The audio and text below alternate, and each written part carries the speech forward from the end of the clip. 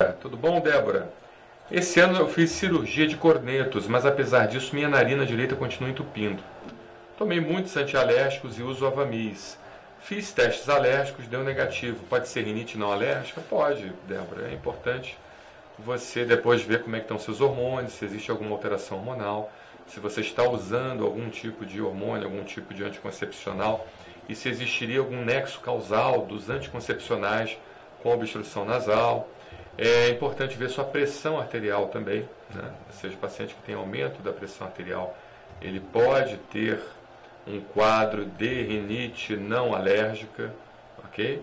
É, o paciente que é obeso também costuma ter também rinite não alérgica, obstrução nasal, bloqueio nasal, por causa da obesidade, que quando você deita, você reflui o sangue é, e começa a irrigar então sua face, então é aquela irrigação de sangue em demasia por causa do, da obesidade centrípeta, né, da obesidade abdominal principalmente, faz com que o paciente tenha as narinas entupidas.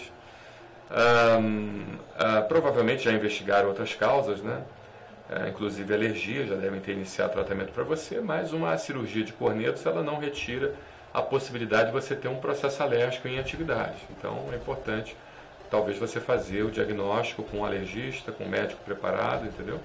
Para que você possa então entender se existe também um componente alérgico envolvido nessa sua obstrução respiratória. Ok?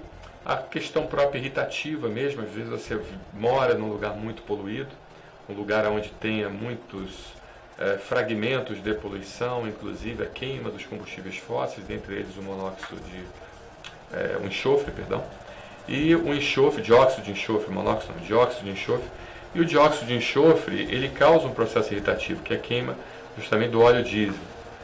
E pode ser que você more próximo de um lugar assim muito movimentado e isso esteja irritando sua mucosa e levando você então a um processo de obstrução nasal. Mas é importante você fazer o diagnóstico diferencial, você entender o que está acontecendo realmente com você, para que você possa então é, se tratar adequadamente, tá bom?